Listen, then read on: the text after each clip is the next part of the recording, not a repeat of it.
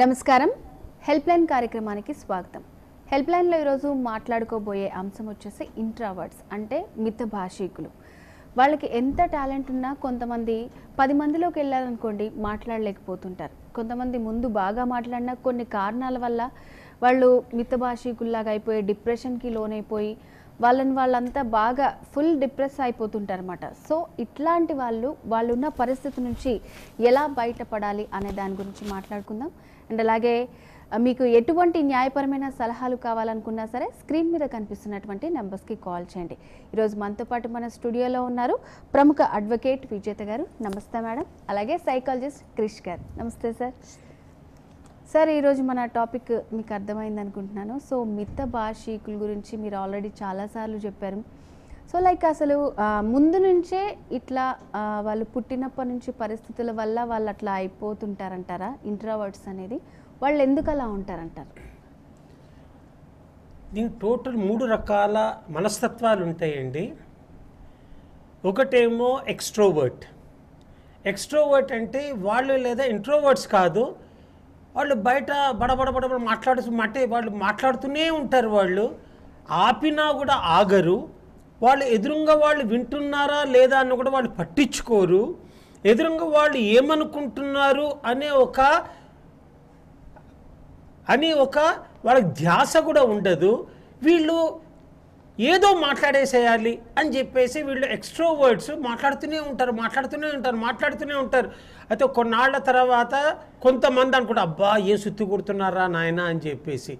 అందుకోసం అని చెప్పి that is called as extrovert మరి ఇంకోటి ఏంటి ఇంట్రోవర్ట్ అంటే మరియు మరి అంటే ఒక ఇంట్రోవర్ట్ కనుక అయినట్టయితే వాళ్ళు ఎవరితోటి మాట్లాడరు ఎవరితోటి కలవరు. They want to be silent అయితే చాలామంది introverts they go through and inferiority complex ఏంటి? ఎదురుంగ వాళ్ళు నాకన్నా బాగా చదువుకున్నారు లేకపోతే నాకన్నా ఎదురుంగ వాళ్ళు అందంగా ఉన్నారు లేకపోతే నాకన్నా ఎదురుంగ వాళ్ళు గొప్ప స్థితిలో ఉన్నారు. నేనెందుకు మాట్లాడాలి? నేను లేదా అనవసరంగా అవహేళన పాలు కాకూడదు. నన్ను ఎవరు ఏదైనా అంటే నాకు మంచిగా అనిపించదు. అందుకోసం అని చెప్పి నేను ముభావంగా ఉండాలి అని చెప్పి పలకరిచ్చినా కూడా పలకకుండా వాళ్ళల్లో వాళ్ళే ఉంటారు. వీళ్ళు లేదా చాలా లోన్లీనెస్ ఫీల్ అవుతుంటారు. వీళ్ళు లేదా పలకరించినా కూడా వీళ్ళు ఒకటి రెండు మాటలకు తప్పించి వీళ్ళు అంతకన్నా ఎక్కువగా వీళ్ళు మాట్లాడరు. ఎవరైనా వీళ్ళు బై ఛాన్స్ ఎవరైనా ఇంటికి వెళ్ళినా కూడా ఆ ఇంట్లో వాళ్ళు బాగున్నారంటే బాగున్నారని అంటే టీ తాగుతారంటే వద్దండి కాఫీ కావాలా వద్దండి నీళ్ళు కావాలా వద్దండి ఏంటంటే ఉన్నారా అంటే ఇంకా వాళ్ళు ఇంకా ముందర ఏం మాట్లాడాలో కూడా అర్థం కాదు. కొద్దిగా సేపట్లో వెళ్ళొస్తామండి అంటే సరేనండి అంటారు. అంటే ఇటువంటి ఇంట్రోవర్ట్స్ ఒకటి extrovert introvert third one is called as ambivert అంటే యాంబివర్ట్ అంటే అవసరం ఉన్నప్పుడు అనర్ఘళంగా ఎంతసేపైనా మాట్లాడగలరు. అవసరం లేనప్పుడు వాళ్ళు ముభావంగా ఉంటారు. అవసరం ఉన్నప్పుడు వీళ్ళు ఎంతసేపైనా వీళ్ళు దే అంటే ఏ టాపిక్ మీదైనా దేని మీదైనా వీళ్ళు మాట్లాడగలిగే శక్తి కలిగి ఉంటారు. అంబివర్ట్ అనే వాళ్ళు అవసరం ఉన్నప్పుడు మాట్లాడతారు అవసరం లేనప్పుడు మాట్లాడరు. ఇప్పుడు ఎట్లయితే కొంతమంది అడ్వకేట్స్ ఉంటారు అడ్వకేట్స్ ఏంటి? దే ఆర్ ఆల్ లైక్ అంటే దే ఆర్ లైక్ అంబివర్ట్స్ అంటే ఏంటి? అవసరం ఉన్నప్పుడు ఎంతైనా మాట్లాడగలరు లేకపోతే ముభావంగా ఉండి ఆ క్లయింట్ చెప్పింది they are only committed compassionate listener. ఎదురుగా వాళ్ళు ఏం చెప్తున్నారో అర్థం చేసుకోవాలనుకుంటారు. ఎదురుగా వాళ్ళు వాళ్ళు అసలు అంటే వాళ్ళ ఇష్యూస్ ఏంటని చెప్పి వీళ్ళు నిశ్చితంగా పరిశీలించి అందులోంచి ఏం పాయింట్స్ వచ్చి ఐ కెన్ బీ నా యొక్క క్లయింట్కి ఏ విధంగా నేను ఉపయోగపడగలను వాళ్ళ యొక్క ఇష్యూస్ ఏంటి అని చెప్పి ప్రతిదీ కూడా క్షుణ్ణంగా పరిశీలించడానికి they are very committed compassionate listeners కానీ అవసరం ఉన్నప్పుడు మాత్రం వీళ్ళు మాట్లాడుతూ ఉంటారు. ఇప్పుడు ఇంట్రోవర్ట్ లాగా ఏంటంటే ఐ డోంట్ స్పీక్ అంటే అది ఇప్పుడు కదవరు కదా. కాబట్టి వాళ్ళు ఎప్పుడైతే కోర్టుకి వెళ్ళినప్పుడు అనర్గళంగా వాళ్ళు వాదించాల్సే వస్తుంది. అందుకోసం అని చెప్పి number one is extrovert number two is introvert number three is ambivert ఎవరైతే అంబివర్ట్ కనుక ఉన్నప్పుడు అవసరం ఉన్నప్పుడు మాట్లాడతారు అవసరం లేనప్పుడు దే ఆర్ వెరీ కంఫర్టబుల్ అంటే వాళ్ళు ఒంటరిగా ఉన్నా కంఫర్టబుల్గా ఉంటారు మాట్లాడుతున్నా కంఫర్టబుల్గా ఉంటారు వంద మందితో ఉన్న కంఫర్టబుల్గా ఉంటారు. వాడు ఎవ్వరు లేకున్నా కూడా they are very very comfortable with them అంటే that is called as in psychology they have arrived at that centering okay sir so madam మీ అభిప్రాయం ఏంటి? లైక్ అసలు ఎట్లా ఉంటే బాగుంటుంది అంటారు మీరు ఇప్పటివరకు చూసిన వాళ్ళలో ఆ, మితభాషికులుగా ఉంటే మంచిదంటారా? గలగల మాట్లాడితే మంచిదంటారా? ఎలా ఉంటే మంచిదంటారు? అంటే ఇప్పుడు మ్యాట్రిమోనల్ కేసెస్లో మేము చాలా చూస్తూ ఉంటాం. అందులో సగం కేసెస్ హస్బెండ్ అతిగా మాట్లాడుతున్నారు. అతిగా మాట్లాడటంతో వాళ్ళలో ఉన్న వెకిల్తనం బయటకు వస్తుంది. అంటే ఇటు వైఫ్లో కూడా అదే లక్షణం హస్బెండ్స్ కూడా కంప్లైంట్ ఇస్తూ ఉంటారు.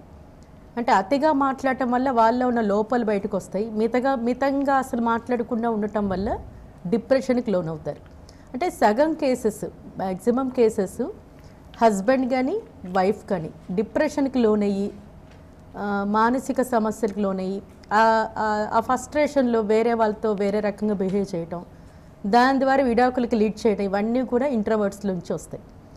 ఈ అతిగా మాట్లాడటం వాళ్ళతో ఏంటంటే మనం కౌన్సిలింగ్ చేసినా ఏం చేసినా వాళ్ళు సరిదిద్దుకుంటారు.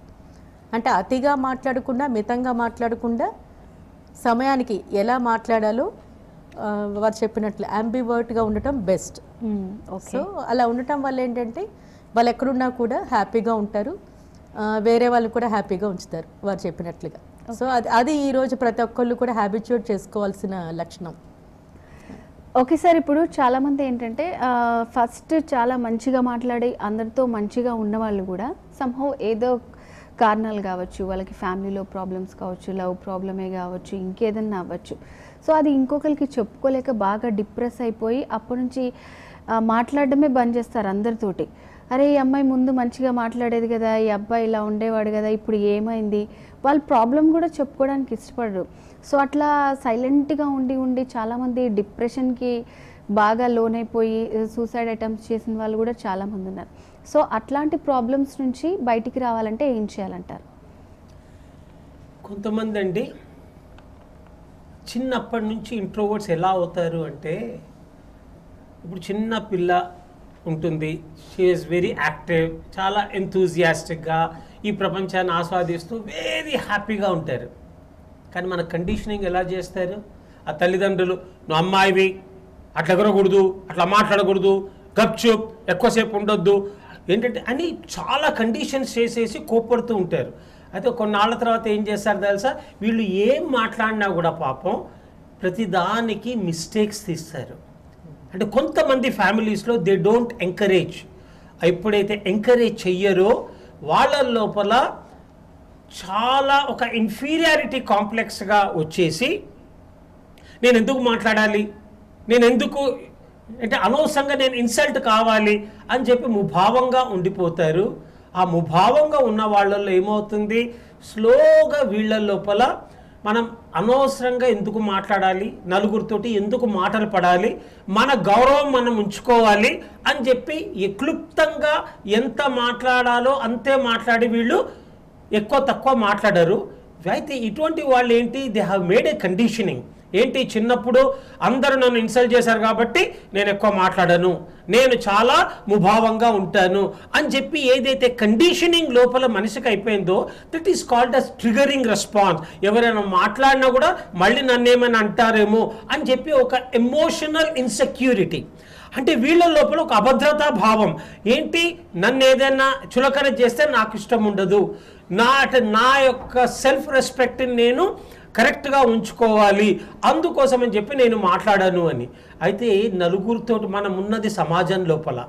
What you speak is not important how you speak is very very important అంటే నువ్వు ఏం మాట్లాడుతున్నావో ఇంపార్టెంట్ కాదు. ఎలా మాట్లాడుతున్నావు అన్నది చాలా చాలా ఇంపార్టెంట్ కమ్యూనికేషన్ లోపల ఏంటంటే how your communication is landing on the other person అంటే మీరు మాట్లాడే మాటలు ఎదురుంగా వాళ్ళ మీద ఎటువంటి ప్రభావాన్ని చూపుతున్నాయి అనే ఒక ఇంగిత జ్ఞానం ఉండాలి. ఒక కామన్ సెన్స్ ఉండాలి. ఎదురుంగా వాళ్ళకి ఏ విధంగా మన కమ్యూనికేషన్ రీచ్ అవుట్ అవుతుందో అని చెప్పి ఆలోచించాలి.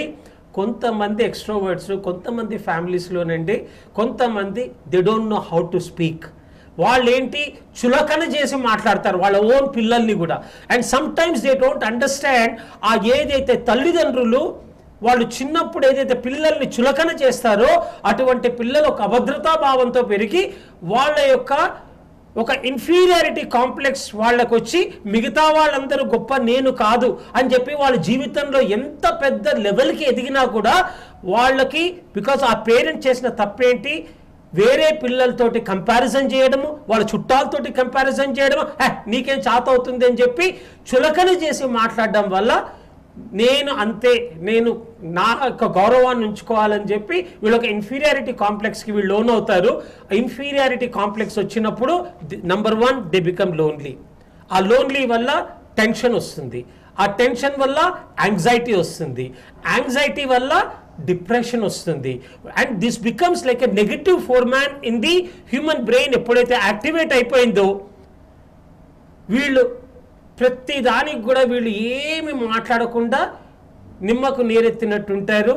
ఏదైనా ఒక లైఫ్ లోపల మేజర్ అలజడి జరిగిందనుకోండి అంటే ఎవరినైతే నమ్మి మోసపోయినటువంటి ప్రియుడు కానీ ప్రియురాలు కానీ లేకపోతే సడన్గా ఎవరైనా వీళ్ళు చాలా ఆప్తులైన మనిషి జీవితంలో చనిపోయినా కూడా లేకపోతే ఎవరైనా క్లోజ్ ఫ్రెండ్ ఎవరినైతే నమ్మారో అన్ని విషయాలు చెప్పిన తర్వాత ఆమె అటు ఆమె కానీ ఆయన కానీ వేరే వాళ్ళకి ఆ మాట చెప్పేసరికి వీళ్ళ మనసు తట్టుకోలేదు. వీళ్ళు చాలా సున్నితమైన మనస్కులై ఉంటారు. ఒక ఎమోషనల్ టర్బులెన్స్ వల్ల వీళ్ళు ఒక్కోసారి ఇందాక మీరు చెప్పినట్టు even they go to an extent of committing a suicide అందుకోసం అని చెప్పి ఇటువంటి వాళ్ళల్లో కొద్దిగా అధైర్యపడే ఒక లక్షణాలు ఎక్కువగా ఉంటాయి. అందుకోసం అని చెప్పి you should be an ambivert word okay ఇలాంటి కేసెస్ ముఖ్యంగా లీగల్ ఎయిడ్ సెంటర్కి వచ్చేవి. వచ్చినప్పుడు ఏంటంటే ఒక ఒక ఒక కేసు నేను ఇక్కడ షేర్ చేసుకుంటాను. Madam case. షేర్ చేసుకునే ముందు ఒక కాల్ తీసుకుందామండి. హలో? నమస్తే అండి మీ పేరు ఎక్కడి నుంచి కాల్ చేస్తున్నారు? ఆ, నమస్తే మేడం నా పేరు మమత అనంతపురం. ఓకే అండి మీ ప్రాబ్లం ఏంటో చెప్పండి. విజేత గారు ఉన్నారు మాట్లాడండి. చెప్పండి మమత గారు. మేడం నమస్తే మేడం. నాది మా ఆయన పిల్లలు లేరనేసి ఫస్ట్ వయసుకి నన్ను పెళ్ళి చేసుకున్నాడు. చేసుకున్న తర్వాత వాళ్ళిద్దరూ మాట్లాడుకుని ప్లానింగ్ వల్ల పిల్లలు ఒకటి నీ వద్దు అంటున్నాడు మేడం. కాదు నాకు ఇక్కడ ఒక ఒక ప్రశ్నకి సమాధానం చెప్పండి అమ్మా మీకు విడాకులు ఇవ్వకుండానే చేసుకున్నారా? లేదు మేడం తను వాళ్ళ వయసు పిల్లలు లేరు మేడం. మా So, అమ్మ second వాళ్ళకి వచ్చి wife. అడిగాడు మ్యారేజ్ బ్యూరో తరపు నుంచి. వచ్చిన తర్వాత పిల్లోడు పుట్టాడు ఒక సంవత్సరం లోపల బాబు. పుట్టాను ఇప్పుడు పిల్లల్ని ఇచ్చేయి నీకు ఎంతో కనిపిస్తాము డబ్బులు నువ్వు వద్దు వెళ్తా అంటున్నాడు మేడం క్యాస్ట్ వేరని. కాదు నేను నా నా ప్రశ్నకి సమాధానం చెప్పమ్మా నీకు తెలుసా అతనికి మ్యారేజ్ అయిన విషయం? ఆ తెలుసు మేడం. మా అమ్మ వాళ్ళు చెప్పాడు హ్మ్. విడాకులు తీసుకున్నారా లేదా అడగకుండానే పెళ్ళి చేసుకున్నారా? లేదు మేడం. ఆమె కూడా ఒప్పుకోయింది మేడం. అదే చెప్తున్నాను. ఇప్పుడు చట్ట ప్రకారం ఏంటంటే హిందూ వివాహ చట్ట ప్రకారం ఎవరైతే మొదటగా వివాహం చేసుకుంటారో వారిని చట్టం భారీగా భావిస్తుంది. సో ఇప్పుడు మీరు ఆ పదానికి అర్హులు కారు. మేడం? అంటే ఇప్పుడు ఇప్పుడు ఏంటంటే ఇక్కడ లా చాలా సెన్సిటివ్గా ఉందమ్మా. ఇక్కడ ఏంటంటే చాలా మందికి తెలియని విషయం ఏంటంటే ఒక మ్యారేజ్ అయిన వ్యక్తితో ఇది సెకండ్ మ్యారేజ్ అనుకుంటూ ఉంటారు. బట్ నిజానికి అదేమవుతుంది? చట్ట ప్రకారం క్రిమినల్ కేసు అవుతుంది భాగ్యమే అని. సో దాని కింద ప్రూవ్ అయితే ఇది సెకండ్ మ్యారేజ్ అని అన్ని పద్ధతుల కింద అంటే సప్తపది అగ్నిహోత్రం మన హిందూ వివాహ చట్ట ప్రకారం ఈ రెండు జరగాలి. ఆ రెండు జరిగాయని ప్రూవ్ అయితే అది భాగ్యమే అవుతుంది అంటే క్రిమినల్ కేసు. మీ హస్బెండ్కి కనీసం ఏడు సంవత్సరాలు శిక్ష పడుతుంది ఇద్దరికీ కూడా. ఎవరు మీ ఆమె ఎవరైతే భార్య ఉన్నారో ఆవిడ కనుక కేసు పెడితే. అలాగే మీ పిల్లలు ఇక్కడ సెన్సిటివ్ విషయం ఎందుకన్నానంటే పిల్లలకు సంబంధించి వాళ్ళకి మెయింటెనెన్స్ ఉంటుంది. అంటే వాళ్ళకి భరణం అడిగే హక్కు ఉంటుంది. ఎందుకంటే పెద్దలు చేసిన పనికి పిల్లల్ని శిక్ష విధించరు. కాబట్టి మీ పిల్లలకి మాత్రం వారికి భరణం అడిగే హక్కు ఉంటుంది. కానీ మీకు మాత్రం చట్ట ప్రకారం భార్యగా అనే హోదా మీకు ఉండదు అది. సో ఎవరైనా సరే మ్యారేజ్ అయిన పెళ్ళైన వాళ్ళ జోలికి వెళ్ళకండి. ఎందుకంటే మ్యా ఒకవేళ అయిన ఒకవేళ చేసుకోవాలనుకున్నప్పుడు వాళ్ళు విడాకులు తీసుకున్నారా లేదా అవన్నీ చూసుకున్న తర్వాతే మీరు వివాహం చేసుకోండి తప్ప పిల్లలు లేరని అది లేరని చేసుకోవటం చట్టం ఒప్పుకోదు. పిల్లలు లేకపోతే అడాప్ట్ చేసుకోవాలి అంతే. సో ఇది అంటే చట్టం ఇప్పుడు నా బాబుని ఇవ్వాల్సిన అవసరం లేదు. ఆ అమ్మాయి మెయింటెనెన్స్ వేసుకోవచ్చు అంట. ఆవిడ మెయింటెనెన్స్ ఆ బాబుకి అడగచ్చు. ఈవిడికైతే చట్ట ప్రకారం ఎలాంటి హక్కులు ఉండవు. ఓకే ఇందాక మీరు మీ దగ్గరకు వచ్చినటువంటి ఆ, కేసులో ఏంటంటే ఇప్పుడు రాధాకృష్ణ గారు చెప్పారు ఇంట్రోవర్ట్స్ అని. ఆ అమ్మాయి ఎంత ఇంట్రోవర్ట్ అంటే అత్తగారు పొద్దు అంటే హస్బెండ్ ఆఫీస్కి వెళ్ళిపోయిన తర్వాత అత్తగారు అనే రకరకాల మాటలకి అమ్మాయి ఏడవటం మొదలుపెట్టింది. ఆ ఏడ్చి ఏడ్చి ఓ డిప్రెషన్కి లోని హస్బెండ్ ఎందుకు నా వైఫ్ ఇట్లా డిప్రెషన్గా ఉంటుందని చెప్పి అతనికి టెన్షన్. సో ఒకరోజు మా దుర్గాబాయ్ దేశ్ముఖ్లోని లీగలర్ సెంటర్కి అమ్మాయి రావటం జరిగింది. రాగానే అమ్మాయి మమ్మల్ని చూడంగానే ఏడవటం మొదలుపెట్టింది. అంటే ఇప్పుడు ఒక ఇప్పుడు వీరన్నట్లు ఏమైనా చెప్పాలి అన్నప్పుడు నువ్వు చెప్పద్దు. నువ్వు చెప్పటం వల్ల వెకిలితనం బయటకు వస్తుంది. నువ్వు ఏదేదో మాట్లాడుతున్నావు ఇంటి పరువు పోతుంది. నువ్వు ఎలా మాట్లాడాలో నీకు తెలుసుకుని మాట్లాడాలి. ఎక్కువ మాట్లాడితే తప్పు.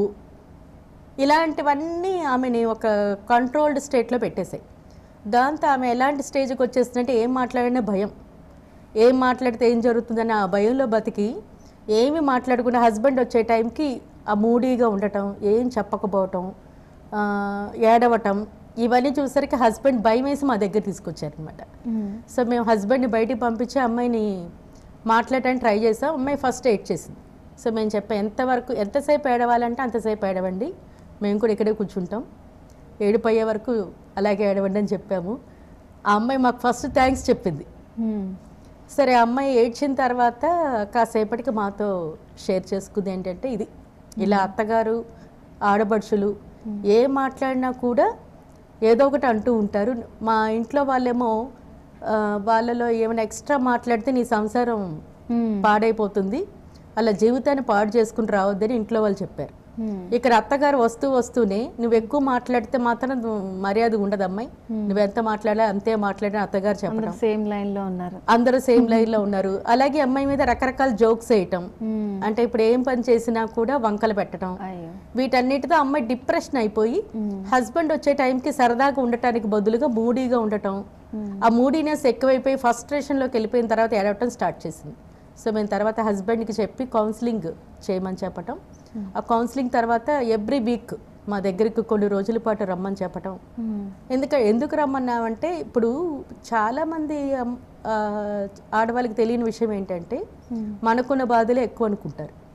కానీ వీళ్ళకంటే వేరే వాళ్ళ బాధలు కూడా ఇంత ఇంకా ఉన్నాయి. దీంతో కంపేర్ చేసి మనం చాలా సేఫ్గా ఉన్నాం. బయటికి వస్తేనే మనం చాలా సేఫ్గా ఉన్నాం.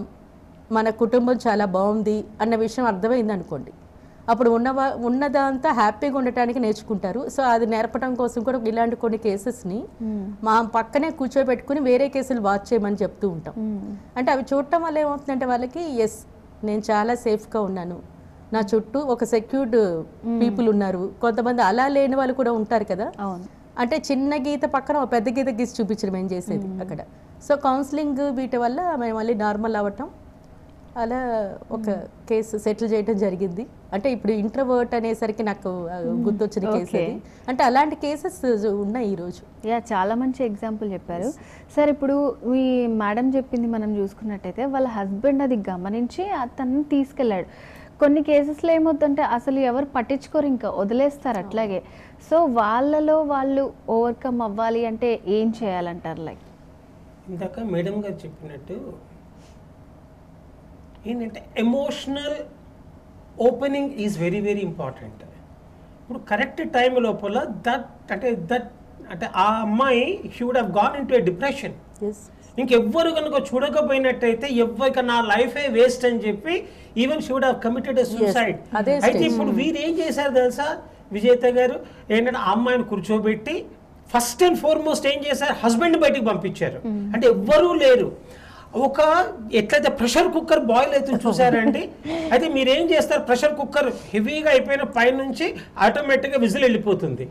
ఒక ఆ వెళ్ళే అవుట్లెట్ లేకపోయినా మీరు ఫిజికల్గా తీసేస్తారు దాన్ని. ఆ యొక్క విజిల్ వెళ్ళిపోయిన తర్వాత అది బయటికి వెళ్ళిపోతుంది. అదేవిధంగా ఈ ఎమోషనల్ టర్మాయిల్ అన్నది this is called as emotional turbulence ఆ టర్బులెన్స్ ఉన్నప్పుడు ఇప్పుడు వీరేం చేసే ఏదో ఒక అవుట్లెట్ కావాలి. అంటే ఏంటి? Thousand temples of stone and wood are not equivalent to one understanding heart అయితే వన్ అండర్స్టాండింగ్ హార్ట్ అంటే మేడం గారు ఇంత బిజీగా ఉన్నా ఇంత అడ్వకేట్ ఉన్నా ఇంత ఇది ఉన్నా కూడా ఆమె చెప్పేది ఇట్ మే బి నెగ్లిజిబుల్ అంటే ఇటువంటి కేసులు వంద రావచ్చు. కానీ ఒక ప్రాణం ఒక లైఫ్ అయితే ఏం ఓపిక్గా ఆ అమ్మాయి చెప్పిందంతా విన్న తర్వాత ఎంతసేపు ఏడుస్తావో ఏడవమని చెప్పింది. ఎందుకు? ఆ యొక్క లోపల ఏదైతే పెంటప్ ఎమోషన్స్ అన్నీ వెళ్ళిపోయిన తర్వాత దండం పెట్టి థ్యాంక్ యూ సో మచ్ అని చెప్పేసి she felt so so relieve కానీ ప్రతి వాళ్ళల్లో కూడా కానీ ఇటువంటి వాటికి కారణం ఏంటి? ఆ కట్టే అప్పుడు ఆ అమ్మాయి అలా కావడానికి కారణం ఏమైంది? ఇందాక మేడం గారు చెప్పినట్టు వాళ్ళ అత్తగారు. వాళ్ళ మామగారు వాళ్ళ హస్బెండ్ వాళ్ళ ఆడపడుచులు. ఏంటి పాపం ఏ అమ్మాయినండి? ఒకళ్ళ అమ్మాయి కనుక ఒక పెళ్ళి చేసుకొని ఒకళ్ళ ఇంటికి కనుక వెళ్ళాలి అంటే ఆ ఇంట్లో తను సంతోషంగా ఉండాలి అందరు సంతోషంగా ఉండాలని ఒక సదుద్దేశంతో వెళ్తుంది కానీ ఎక్కడైనా అమ్మాయిని అంటే ఆ ఫ్యామిలీకి వెళ్ళి సతాయించబడాలి లేకపోతే విడాకులు తీసుకోవాలి అడ్వకేట్ల చుట్టూ తిరగాలి మా లైఫ్ ఇట్లా కావాలని చూస్తారా? కానీ ఎదురుగా వాళ్ళ లోపల there is something called as emotional maturity and psychological strength ఆ ఫ్యామిలీలో ఉండాలి. అందుకోసమని ఆ ఫ్యామిలీని చూడాలి. అంటే what kind of people they are పాప అమ్మాయి ఎంతూజియాజంగా లవ్లీగా ప్రేమగా మంచిగా హ్యాపీగా ఆ ఫ్యామిలీ లోపల సెటప్ కావాలని చెప్పి వచ్చినప్పుడు అత్తగారు మామగారు వీళ్ళు పిల్లలు షూటింగ్ పోటీ మాటలని ఈ డ్రెస్ ఎందుకు వేసుకున్నావు? ఇట్లెందుకు మాట్లాడావు? ఇట్లెందుకు చేసావు ఇందులో ఉప్పు ఎక్కువైంది అందులో లేదా కారం ఎక్కువైంది లేకపోతే ఇలా ఇలా అంటే లేకపోతే ఇల్లు ఇట్లెందుకు పెట్టావు? ఇక్కడ నువ్వు డస్టింగ్ చేయలేదా? లేకపోతే అంట్లు తోమలేదా? అన్నీ నేనే చేయాలా? అని ఒక నెగటివ్ కన్నోటేషన్ తోటి ఏదైతే వీళ్ళు నెగటివ్గా మాట్లాడి ఒక మంచి సదుద్దేశంతో వచ్చిన అమ్మాయిని వాళ్ళు ఒక డిప్రెషన్కి లోన్ చేసి ఒక ఫ్రస్ట్రేషన్కి లోన్ చేసి ఆ అమ్మాయి యొక్క జీవితాలతో ఆడుకోవడం కూడా మీరు చేస్తున్నటువంటి ఒక చాలా ఇటు హేయమైన చర్య. అందుకోసం అని చెప్పి నైంటీ పర్సెంట్ అమ్మాయి కనుక ఏంటంటే ఒకళ్ళ ఇంటికి కనుక వెళ్ళినట్టయితే ఆ ఫ్యామిలీ లోపల ఆ అమ్మాయికి కాన్ఫిడెన్స్ ఇవ్వాలి ఎంకరేజ్ చెయ్యాలి. యాక్సెప్ట్ యాక్సెప్ట్ చేయాలి అడ్జస్ట్ చేయాలి ఒక భూతద్దంలోంచి ఆ అమ్మాయి చేసే తప్పులు కాదు భూతద్దంలోంచి how can appreciate that girl అంటే ఆ అమ్మాయిలో ఒక చిన్న మంచి క్వాలిటీ ఉన్నా కూడా మీరు గనక బయటికి గనక అమ్మాయి చెప్పినట్టయితే ఆ అమ్మాయి లోపల ఒక సెల్ఫ్ వర్త్ అంటే ఆ అమ్మాయి లోపల ఒక ఏంటంటే సెల్ఫ్ కాన్ఫిడెన్స్ ఎప్పుడైతే బిల్డప్ అయినప్పుడు ఆ అమ్మాయి ఆ ఫ్యామిలీ లోపల అడ్జస్ట్ అయిపోయి she will have a wonderful life I think ఏమో ఆ ఫ్యామిలీ నుంచి వచ్చినటువంటి ఆ అమ్మాయి కనుక ఇటువంటి turbulence లో ఉంటే అటువంటి ఫ్యామిలీ ఏమైనా సంతోషంగా ఉంటుందా? వాళ్ళు ఉండరు వీళ్ళు ఉండరు. అందుకోసం అని చెప్పి emotional maturity and psychological strength are imperative తర్వాత రాధాకృష్ణ గారు ఇంకొన్ని కేసెస్లో మేము చూసింది ఏంటంటే ఇలాంటి హరాస్మెంట్ ఉండదు. అత్తమామల హరాస్మెంట్ ఏమి ఉండదు ఓకే కానీ ఇక్కడ హస్బెండ్ వైఫ్ రిలేషన్లో ఏమవుతుందంటే హస్బెండ్స్కి ఏంటంటే వైఫ్ కనుక కొంచెం ఫ్రీడమ్ ఇచ్చేసారనుకోండి వాళ్ళకి మాకు అది కావాలి ఇది కావాలని వేధిస్తారు కదా. లేకపోతే ఈవినింగ్ అయ్యేసరికి సినిమాకి తీసుకెళ్ళమని షాపింగ్ తీసుకెళ్ళి వేధిస్తారు. కాబట్టి వాళ్ళు ఒక వాళ్ళు ఏం చేస్తారంటే ఎలా కంట్రోల్ పెట్టాలనే దీంతో ఏం మాట్లాడినా వైఫ్ని చాచి లెంపకాయ కొడుతూ ఉండటం. తర్వాత తీసుకొచ్చిన వాటర్ ఏమైనా ఉంటే విసురు కొట్టడం. ఈ వాటర్ సరిగ్గా కడగలేదు గ్లాస్ సరిగ్గా కడగలేదని. అంటే ఇదంతా first step of four ninety eighty అంటే హెరాస్ చేయటం. సైకలాజికల్గా అండ్ ఫిజికల్గా అట్లాంటి కేసెస్ అంటే first step of asking dowry ఆ కట్నం అడగటానికి లేకపోతే పుట్టింటి నుంచి ఇంకొన్ని కానుకలు తెమ్మంటానికి ఫస్ట్ స్టెప్ వాళ్ళు చేసే పని. ఆ తర్వాత నెమ్మదిగా ఈ ఈ ఇప్పుడు హస్బెండ్ రాగానే హ్యాపీగా స్పెండ్ చేద్దాం అనుకున్న అమ్మాయి రాగానే హస్బెండ్ ఇలా కొడుతున్నా గట్టిగా అరుస్తున్నా ఆవిడ చెప్పినట్లు సార్ చెప్పినట్లు ఇంట్రోవర్ట్గా మారిపోతుంది. అలా కొన్ని కేసెస్ సూసైడ్ చేసుకునేవి కూడా మేము చూసాం. అట్లా లీడ్ అయ్యి అటు పుట్టింటి వారి నుంచి సామాన్ వస్తువులు తీసుకురాలేరు. హస్బెండ్ అడిగే గొంతుమ్మ కోరికలన్నీ నెరవేర్చలేరు. ఫైనల్గా వాళ్ళు ఏమవుతున్నారు? ఇంట్రోవర్ట్గా మాట్లా మారు మారుతున్నారు. అంటే మ్యారేజ్ అయినప్పుడు హ్యాపీగా ఉంటారు. చాలా ఆశలతో పుట్ పుట్టింట్లోంచి అత్తింట్లోకి అడుగు పెడతారు. అడుగు పెట్టిన తర్వాత ఈ టైప్ ఆఫ్ హెరాస్మెంట్తో వాళ్ళు ఒరిజినల్గా వాళ్ళు ఇంట్రవర్ట్ కాకపోయినా ఇంట్రవర్ట్గా మారుతారు. మారిన తర్వాత frustration డిప్రెషన్లోనే suicide attempts so four ninety eight four ninety eight A cases maximum cases ఇలా చేసినవి. మేము అలాంటి వాటిలో కౌన్సిలింగ్ చేసినప్పుడు పిల్లలు ఉన్నప్పుడు ముఖ్యంగా పిల్లలు ఉన్నప్పుడు హస్బెండ్ కానీ వాళ్ళ అత్తమామలు వీళ్ళందరూ వచ్చి ఆ, ఈ అమ్మాయి ఎవరైతే చనిపోయారో వాళ్ళు పుట్టింటి వాళ్ళతో కౌన్సిలింగ్ పెట్టండి అని అన్నప్పుడు కాంప్రమైజ్ టాక్స్ యాక్చువల్గా four ninety eight is not compoundable compromise చేయలేని ఒక అఫెన్స్ అలాంటి దాంట్లో కూడా పిల్లల గురించి కాంప్రమైజ్ అవ్వాలని చెప్పినప్పుడు మేము హస్బెండ్ అడిగాం. అసలు ఎందుకు అలాంటి బిహేవియర్ వచ్చిందని? అతను చాలామంది చెప్పిన రీజన్ ఏంటంటే మేము మేము ఆఫీస్ నుంచి రాగానే సినిమాలకు వెళ్ళాలనో ఇంకేదో కొనాలనో ఇలాంటివన్నీ పెడతారు కాబట్టి మేము ఇలా అడాప్ట్ చేసుకున్నామని. బట్ అట్లాంటి చెప్పాడు మీకు? అలాంటివి ఒక హస్బెండ్ కదా. కొంతమంది కేసెస్లో కొన్ని కేసెస్లో ఇది రివీల్ అయింది. ఓకే. అంటే ఒక రాంగ్ నోషన్ అనమాట అంటే ఒక కుదరలేదు అని మాటలతో చెప్పేదానికి వాళ్ళంతా చక్కగా చెప్పొచ్చు. మన ఇన్కమ్. ఇంతే ఉంది. మన ఇన్కమ్లో మనం ఇలా బతకచ్చు అని చక్కగా చెప్పొచ్చు. అలా చెప్పకుండా నేను ఇలా బిహేవ్ చేస్తే వాళ్ళు నన్ను ఏం అడగరు నేను ఇలా కొడుతుంటే వాళ్ళు కొంచెం ఫస్ట్ అదే టెర్రరైజ్ అయిపోతారు భయపడతారు నన్ను చూడంగానే. అడగటానికి ఏం రావు. రాగానే నువ్వు అదేదో గ్లాస్ సరిగ్గా కడగలేదు. నీళ్ళు మంచి గ్లాస్ టాపిక్ డైవర్ట్ చేసేయటం. అంటే హరాస్మెంట్ ఒక స్టెప్ ఆఫ్ హరాస్మెంట్ ఇలా స్టార్ట్ చేయటం వల్ల వాళ్ళు ఆటోమేటిక్గా వైఫ్ని ఇంట్రోవర్ట్గా మార్చటం. ఆ అమ్మాయి ఎంత కాలం చెప్పుకుంటుంది పుట్టింటి వాళ్ళు కూడా అమ్మ మాకే బాధలు ఎక్కువైపోయినాయి నీ పెళ్ళే చాలా కష్టపడి పెళ్ళి చేసాం నువ్వు మళ్ళీ మళ్ళీ చెప్పటం వల్ల మేము ఇంతకంటే మేము తీర్చలేమని చెప్పినప్పుడు వాళ్ళు చేసే స్టెప్ ఏంటి? సూసైడ్ ఆత్మహత్య చేసుకోవటం. అప్పుడు ఇవన్నీ బయటికి రావటం. మేము కౌన్సిలింగ్లో బయటకు వచ్చిన విషయాలు. ఎందుకు మీరు ఇలా బిహేవ్ చేస్తున్నారంటే మా వైఫ్ మేము రాగానే రకరకాల కోరికలు. సినిమాకి వెళ్ళాలనో షాపింగ్కి వెళ్ళాలనో ఏదో చెప్తారు. వాటిని కంట్రోల్ చేయాలంటే ఇది. అలా ఒక ఫిలిం కూడా నేను చూసాను అది think so Manisha Koirala and other some film husband వస్తూనే కొడుతూ ఉంటాడు. ఏం అడగకుండా ఏం అడగకుండా. Okay madam. మనం చాలా రకరకాల మనుషుల గురించి వాళ్ళు ఎందుకు ఇంట్రావర్డ్స్గా మారుతారు అనే దాని గురించి మాట్లాడుకుంటున్నాము. సో ఆ ఇంట్రావర్డ్స్గా ఉన్నప్పుడు సెల్ఫ్గా వాళ్ళని వాళ్ళు మళ్ళీ మార్చుకోలేరంటారా అసలు? ఎవరన్నా ప్రమేయం కంపల్సరీ ఉండాలా? చుట్టుపక్కల చూస్తున్న వాళ్ళు పేరెంట్స్ ఉంటారు. లైక్ ఇప్పుడు మనం కొన్ని చెప్పుకున్న వాటిలో హస్బెండ్స్ వాళ్ళు హెల్ప్ చేస్తున్నారు. సో అట్లా కాకుండా మనకి మనమే రావాలి. ఈ ఈ సిచ్యువేషన్ నుంచి నేను బయటపడాలి నేను ఇట్లా కాదు నేను ముందు ఇట్లా ఉండే కదా. సో వాళ్ళకి వాళ్ళు ఎట్లా ధైర్యం తెచ్చుకోవాలంటారు? When bad things happen to good people they don't become bitter but they become better అయితే ఇందు లోపల ఇప్పుడు ఏదైతే మీరు చాలా వ్యాలిడ్ పాయింట్ చెప్పారు ఏంటి? ఇంట్రోవర్ట్ కనుక ఉన్నట్టయితే నేను అందులోంచి బయటపడగలనా? బయటపడాలంటే ఏం చేయాలి? There is something called a resignation and cynicism నా లైఫ్ ఇంతే నా జీవితం ఇంతే నా మొగుడు ఇంతే నా పిల్లలు ఇంతే లేకపోతే నా లైఫే ఇంత అని చెప్పి దే డోంట్ అంటే వాళ్ళు అసలు ప్రతిదానికి రియాక్ట్ అవుతారు కానీ దే డోంట్ రెస్పాండ్ ఆ సిచ్యువేషన్ నుంచి బయటికి ఎలా రావాలి? ఒక పాజిటివ్ దృక్పథంతో ఆలోచించారు. ఇందులోపల అబ్బాయిలు కాదు అమ్మాయిలు కాదండి. ఈ మధ్య కాలంలో వాట్ ఐఎమ్ సీయింగ్ ఈజ్ అంటే కంపేరింగ్ విత్ ది జోనెసెస్ అంటారు.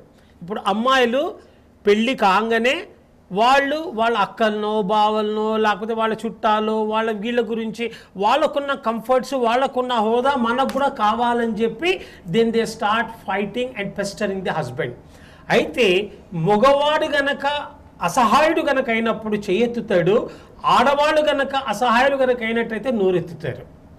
అంటే మగవాడు ఫిజికల్గా స్ట్రాంగ్ కాబట్టి ఇద్దరిది it's only a different way of expressing అయితే ఇందులోపల ఏమవుతుంది? ఒక్కోసారి ఆడవాళ్ళు ఇంట్రోవర్ట్ అయినట్టు మగవాళ్ళు కూడా ఇంట్రోవర్ట్ అవుతారు ఎందుకంటే ఏడిచే అమ్మాయిని అంటే ఏడిచే భార్యని అంటే అంటే నవ్వే మగవాడైతే కాదులేండి కానీ అంటే ఇటు ఎవరైతే ఏడ్చే ఒరిజినల్గా ఉన్నది ఏడ్చే మగవాడిని నవ్వే ఆడదని నమ్మొద్దు నమ్మకూడదు అంటారు కానీ ఏంటంటే ఎప్పుడు ఏడ్చే గనక ఆడవాళ్ళు గనక అంటే అంటే యాక్చువల్గానే ఏంటంటే ఏడ్చే మగవాడిని నవ్వే ఆడదాన్ని అంటారు. కానీ which is not really true అండి. ఇవన్నీ కూడా ఇట్స్ నాట్ రియల్లీ ట్రూ కానీ one of the things is ఇందులోపల how to come out of it దానికి ఫస్ట్ థింగ్ ఈజ్ దాన్ని అంటే ఒకటేమంటాము? ఎక్స్టర్నల్ మోటివేషన్ అంటే ఇటువంటి ట్రైనింగ్ ప్రోగ్రామ్స్ లేకపోతే ఇటువంటి టీవీ ప్రోగ్రామ్ చూసి చ నేను ఈ విధంగా ఇంట్రోవర్ట్గా ఉండకూడదు నా జీవితాన్ని నేను మార్చుకోవాలని చెప్పి వాళ్ళు external motivation something is called as incentive motivation పోనీలే నా మొగుడు చీర కొన్నాడు లేకపోతే ఇల్లు కొన్నాడు లేకపోతే ఇదైంది కారు కొన్నాడు దానివల్ల నేను మళ్ళీ మారిపోతాను అని అదే ఎక్స్టర్నల్ మోటివేషన్ ఇంకోటి ఏంటి?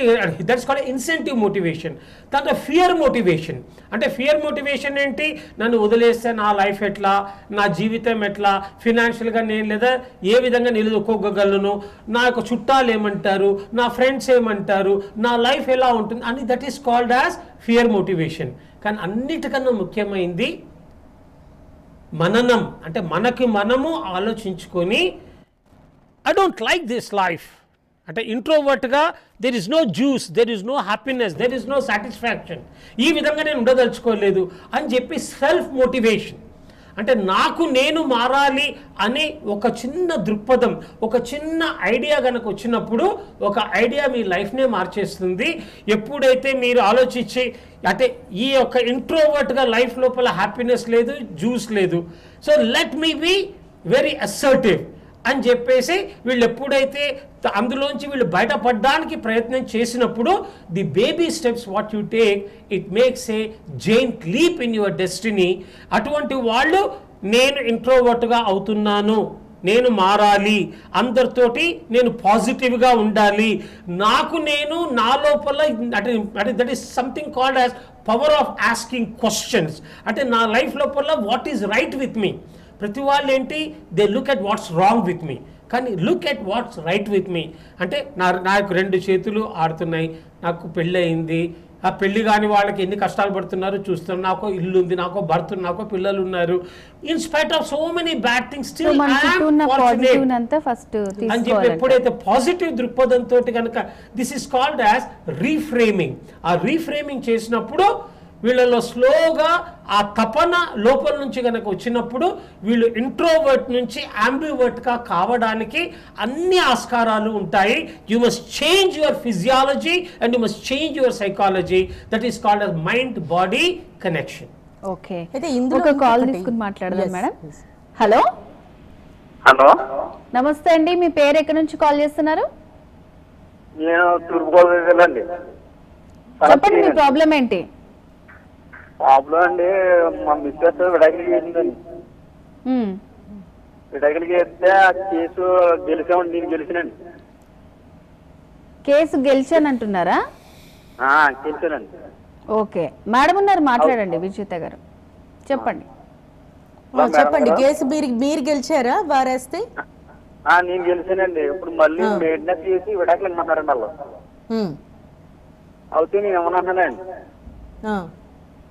అయితే ఎత్తగాని కుదరదని చుట్టాడుతున్నారండి మా లాయర్ గారు అయితే రెండు నెలల్లో నీకు మళ్ళీ అంటాడండి ఉమ్. దానికి ఏంటి మార్గం అని చెప్తారేమో కాదు ఇప్పుడు మీరు గెలిచారు కదా మాకు ఎందుకు కాల్ చేశారు చెప్పండి? మీకండి. అదే ఏమన్నా ఐడియా అని చెప్తారేమోనండి ఏం ఐడియా ఇవ్వాలి మీకు? మీ అంటే మీ- కాదు. భార్య మిమ్మల్ని భరణ అడుగుతున్నారా? మెయింటెనెన్స్ ఇమ్మని అడుగుతున్నారా? మెయింటెనెన్స్ ఇవ్వమని అడుగుతున్నారు తర్వాత మీ- భార్యకి సంబంధించి భరణ ఇవ్వాలి మెయింటెనెన్స్ ఇవ్వాలి ఆవిడకి. అది నెల నెల ఇవ్వచ్చు. లేకపోతే ఒకటేసారి మీరు ఎంత ఇవ్వగలరో అది కోర్టు వాళ్ళ ద్వా- ద్వారా మీరు ఇవ్వాలన్నమాట.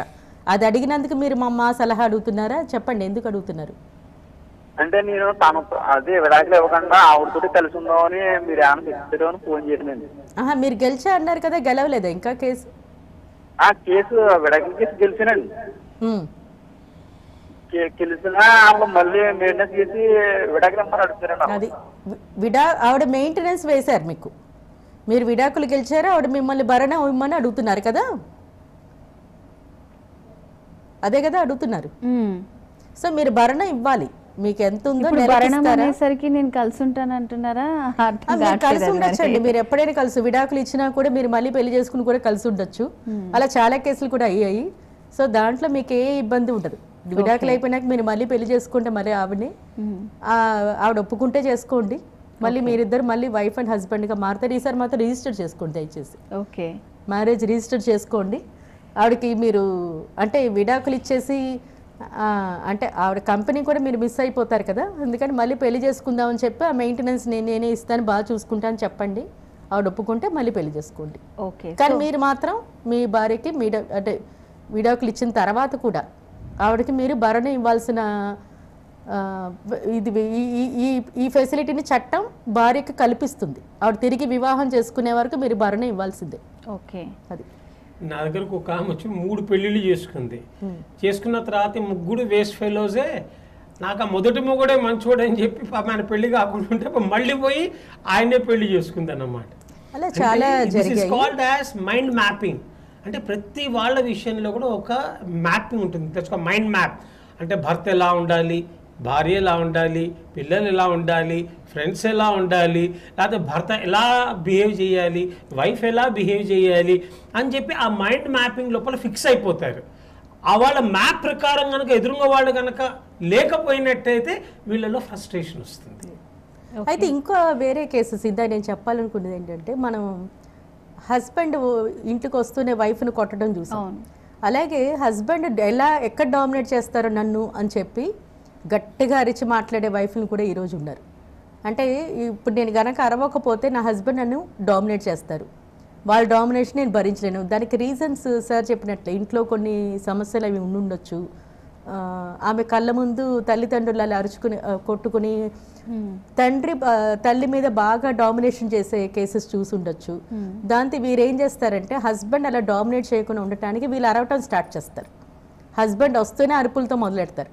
అంటే మిగతా అన్ని పనులు బాగానే చేస్తారు. ఇక్కడ ఏంటంటే లోక జ్ఞానం ఎప్పుడు అరవాలి ఎప్పుడు తగ్గాలనే తెలివి ఉన్న భార్య అయితే మాత్రం ఆ సంసార విడాకుల వరకు రాదు ఫస్ట్ స్టేషన్ కూడా వెళ్ళదు.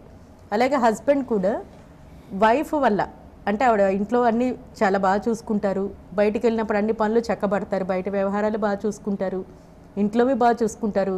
ఆవిడ కేవలం అరుస్తారు అంతే అనే విషయం కనుక వాళ్ళకి అర్థమైంది అనుకోండి వాళ్ళు లోకజ్ఞానంతో ఇంట్లో వైఫ్ అరిచినప్పుడు ఏదో అదొక పాటలాగా ఫీల్ అవుతారు హ్యాపీగా ఎంజాయ్ చేస్తారు. బయటికి వెళ్ళినప్పుడు వాళ్ళ పనులు వాళ్ళు చూసుకుంటారు. అంటే ఇలాంటి ఫ్యామిలీస్ ఏంటంటే యాంబివర్ట్ ఎప్పుడు మాట్లాడాలి ఎప్పుడు మాట్లాడకూడదు అనే సెన్స్ కనుక ఉంటే ఈ ఫస్ట్రేషన్స్ అనేవి కూడా వాళ్ళకి రావు. అలాంటి ఇంట్రోవర్ట్ ఎవరు ఎక్స్ట్రావర్ట్ ఎవరు యాంబివర్ట్ కానీ ఉంటారు. ఎప్పుడు మాట్లాడాలి అప్పుడే మాట్లాడుతూ ఉంటారు. వాళ్ళ నాలెడ్జ్ ఎక్కడ చూపించుకోవాలి అక్కడ చూపించుకుంటారు. వైఫ్ అరిచినప్పుడు సైలెంట్గా ఉండటం వైఫ్ మంచి మూడ్లో ఉన్నప్పుడు వాళ్ళ మనసులో విషయాలు చెప్పటం. సేమ్ థింగ్ వైఫ్ కూడా అదే మెథడ్ హ్యాబిచుయేట్ అవ్వాలి ఈ రోజుల్లో. అందుకని ఈ రోజు మేము ఏమంటున్నామంటే ప్రతి మ్యారేజ్కి ముందు ప్రీ మ్యారిటల్ కౌన్సిలింగ్ కావాలంటున్నాం అలాగే పిల్లల్ని కనే ముందు కూడా పేరెంట్స్గా వాళ్ళ వాళ్ళ రోల్ ఏంటి లైఫ్లో పిల్లల్ని కను కనే ముందు మేము మేము ఎలా ఉండాలి మా పిల్లల ముందు అనే కౌన్సిలింగ్ కూడా ఈరోజు ఖచ్చితంగా తీసుకోవాలని చెప్తున్నాం. ఓకే ఒక కాల్ తీసుకుందాం మేడం. Hello hello. నమస్తే అండి మీ పేరు ఎక్కడి నుంచి కాల్ చేస్తున్నారు? నా పేరు జగదీష్ అండి గుంటూరు నుంచి కాల్ చేస్తున్నానండి. ఓకే అండి మీ ప్రాబ్లం ఏంటో చెప్పండి. మేడం ఇప్పుడు భర్త ఇంతకుముందు మ్యారేజ్ అయిన విషయం చెప్పకుండా మ్యారేజ్ చేసుకుంటే మళ్ళీ ఫోర్ నైన్టీ ఫైవ్ అని వేశారు కదా? అవును అవును. ఫోర్ నైంటీ ఫోర్ అదే పని చేస్తే కేసు పెట్టాలి ఏం కేసు పెట్టాలండి? ఏదండి? భార్య తెలియకుండా చేసుకుంటే మీకు కూడా అదే రైట్ ఉంటుందండి వైఫ్ వైఫ్ అండ్ హస్బెండ్ ఎవరు రెండో మ్యారేజ్ చేసుకున్నా ఇద్దరిలో ఎవరొకరు ఎవరి మీద ఎవరు చేశారో ఆ పని వాళ్ళ మీద రెండో వాళ్ళు కేసు పెట్టచ్చండి. అంటే ఇక్కడ మూడో వ్యక్తి కేసు పెట్టకూడదు. ఇక్కడ ఏంటంటే కాదు ఇక్కడ ఇక్కడ ఏంటంటే మనం తెలుసుకోవాల్సింది హస్బెండ్ తప్ హస్బెండ్ వేరే మ్యారేజ్ చేసుకుంటే వైఫ్ కేసు పెడతారు. అలాగే వైఫ్ రెండో మ్యారేజ్ చేసుకుంటే హస్బెండ్ కేసు పెడతారు. కానీ మూడో మనిషి ఎవరు కేసు పెట్టకూడదు. సో మీ ఇద్దరికి మాత్రమే ఉంటుంది ఆ హక్కు. అది ఈ సెక్షన్లో. అది ఇప్పుడు చెప్పండి. పెట్టచ్చండి. అదేనండి మీ డౌట్? ఆ, అదే. ఓకే అండి. సో బంధువులు కానీ చుట్టుపక్కల వాళ్ళు కానీ ఎవరు కూడా బైగమీ కేసు పెట్టకూడదు. వైఫ్ అండ్ హస్బెండ్ వాళ్ళ వాళ్ళు మాత్రమే ఒకరి మీద ఒకరు కేసు వేసుకోవాలి. ఓకే అండి. ఇంకొక కాల్ తీసుకుందాం. హలో? హలో ఖమ్మం నుంచి అండి. ఓకే అండి. చెప్పండి మీ ప్రాబ్లం. మా బాబు marriage two and half years అయిందండి. ఓ పాప జన్మించింది వాళ్ళు సాఫ్ట్వేర్ ఇంజనీర్. హలో. చెప్పండి వింటున్నాం. చెప్పండి వింటున్నాం. సాఫ్ట్వేర్ ఇంజనీర్ వాళ్ళు బయట ఉంటారు మాతో ఎప్పుడు కలిసి ఉండలే. అయితే మా కోడలు ఏమంటారంటే మా అత్త మా వద్దు. అసలు వాళ్ళ వాళ్ళ జోలే వద్దు వాళ్ళ దగ్గర బాగొద్దు రావద్దు ఫోన్ చేయొద్దు అంటది. ఇప్పుడు వన్ అండ్ హాఫ్ ఇయర్ నుంచి వాళ్ళ అమ్మగారి ఇంటికానే ఉంటుంది అట్లా ఆ- పొజిషన్ మీద. నాకు నాలుగు సార్లు పదకొండుతో మాట్లాడాము. ఒకసారి వచ్చేసి పదిహేను రోజుల నుంచి ఇక మీకు మాకు కుదరదని వెళ్ళిపోయింది. ఇప్పుడు నువ్వు ఏం చేయాలి సలహా అంటే ఇప్పుడు ఈ కేసెస్ కూడా చాలా ఇది కోర్టుకు కూడా వచ్చినాయి ఇలాంటి కేసెస్. రీసెంట్గా హైకోర్టు వరకు కూడా ఇలాంటి కేసులు వస్తే కోర్టు ఒకటి స్పష్టంగా చెప్పింది. ఎలాంటి రీజన్స్ లేకుండా అత్తమామలు దూరంగా ఉండాలి హస్బెండ్ మాత్రం విడిగా ఉండాలి అనే కేసెస్ మేము ఎంటర్టైన్ చేయమని క్లియర్గా చెప్పడం జరిగింది. అంటే ఇక్కడ క్రూయల్టీ అనే గ్రౌండ్ లేదు. అంటే క్రూరంగా హింసిస్తున్నారు మానసికంగా వేధిస్తున్నారు ఇలాంటి కారణాలు ఏమీ లేకుండా పెళ్ళైన తర్వాత హస్బెండ్ కేవలం నేను మాత్రమే ఉండాలి. అని అంటే మాత్రం అది. కోర్టు అదే అండి. అది అది ఇక్కడ ఏంటంటే ఆ ఫ్యామిలీకి సంబంధించిన వాల్యూస్ కోసం కోర్టు స్పష్టంగా చెప్పింది ఏంటంటే ఇలాంటి కేసెస్ మేము ఎంకరేజ్ చేయం. అంటే ఇలాంటివి ఏంటంటే కౌన్సిలింగ్ ద్వారా సెటిల్ చేయడానికి ట్రై చేస్తున్నాం. స్పెషల్గా ఈరోజు కోర్టులో ఏంటంటే ప్రీ లిటిగేషన్ ఉంది. అంటే కోర్టులో వేయటానికి ముందుగా మాలాంటి వాళ్ళ దగ్గరకు వస్తే ప్రీ లిటిగేషన్ అంటే లీగల్ సర్వీసెస్ దాంట్లో జడ్జి గారు కూర్చుంటారు అండ్ సీనియర్ అడ్వకేట్స్ మేమంతా కూడా కూర్చుంటాము. కూర్చొని జడ్జి గారి సమక్షంలోనే వాళ్ళ కౌన్సిలింగ్ జరుగుతుందన్నమాట. అంటే కోర్టు వరకు వెళ్ళకుండా. ఒకవేళ కోర్టులో వేశారే అనుకోండి అప్పుడు కూడా ఈ మీడియేటర్స్ అందరూ కూర్చుని వీళ్ళకి జీవితం పట్ల ఎలాంటి వాల్యూస్ ఉంటాయి? అంటే అత్తమామలు అనేవాళ్ళు ఇటు అమ్మాయికి సంబంధించిన తల్లిదండ్రులు వీళ్ళందరూ లేకుండా వాళ్ళైతే జీవితంలోకి కాళ్ళు పెట్టరు. ఈ వివాహం చేసుకునేంత వయసు కూడా వారికి ఆ, స్టేటస్ కూడా రాదు. అలాగే రేపు పొద్దున వాళ్ళ జీవితాన్ని వాళ్ళు నడుపుకునే విధంగా వాళ్ళు చదువు కానీ ఉద్యోగం కానీ ఆ స్టేటస్ రాదు కాబట్టి ఎవరి జీవితంలోనే తల్లిదండ్రులు అనేవారు చాలా చాలా ఇంపార్టెంట్. అది కౌన్సిలింగ్లో చెప్పడం జరుగుతుంది. ఓకే. అంటే ఈ రీజన్స్ వల్ల మేమిద్దరమే ఉండాలి అనుకోవటం తప్పు అని కోర్టు స్పష్టంగా చెప్పడం జరిగింది. ఆ విషయం ఇద్దరికి అర్థమయ్యే విధంగా ఒక కొన్ని కేసెస్లో ఏంటంటే కౌన్సిలింగ్ లాంటిది ఏదన్నా ఇస్తారంట కౌన్సిలింగ్ ఖచ్చితంగా ఇస్తారు. కొన్ని కేసెస్లో ఏమవుతుందంటే పెళ్ళైన తర్వాత హస్బెండ్ మీ పేరెంట్స్ రాకూడదని చెప్పేవాళ్ళు ఉన్నారు. మ్మ్. అలాంటి వాటికి కూడా కౌన్సిలింగ్ ఈరోజు అంటే ఈ పేరెంట్స్ అనే వాళ్ళు ఇద్దరు వైపు వాళ్ళు కూడా చాలా ఇంపార్టెంట్ వాళ్ళు వద్దు మాకు మేమిద్దరమే ఉంటాం అనే ఏదైతే థాట్ ప్రాసెస్ పెరుగుతుందో ఈరోజు ఆ థాట్ ప్రాసెస్కి ఎగెనెస్ట్గా కోర్టులు తీర్పులు చెప్తున్నాయి. సో అలాంటివి ఏమన్నా ఉన్నా కూడా ఒకవేళ వీళ్ళు నిజంగా క్రూయల్గా హింసిస్తే మాత్రం దూరంగా పెడతారు. అలాంటివి ఏమీ లేకపోతే మాత్రం కలిసి ఉండటానికి ఎలాంటి కౌన్సిలింగ్ అవసరమో అది కోర్టు ఈరోజు ఖచ్చితంగా ఇస్తుంది. Okay madam. ఓకే క్రిష్ గారు ఈరోజు ఇంట్రావర్డ్స్ వాళ్ళ నుంచి వాళ్ళు ఎట్లా ఆ ప్రాబ్లమ్ని ఫేస్ చేశారు. ఫేస్ చేసిన తర్వాత ఎట్లా బయటికి రావాలనే విషయాల గురించి అండ్ అలాగే కాలర్స్కి కూడా చాలా మంచి సలహాలు ఇచ్చారని విజేత గారు క్రిష్ గారు ధన్యవాదాలు. ఇది వాళ్ళ హెల్ప్ లైన్ కార్యక్రమం. మరో కార్యక్రమంలో మళ్ళీ కలుసుకుందాం. అంతవరకు సెలవు. నమస్తే.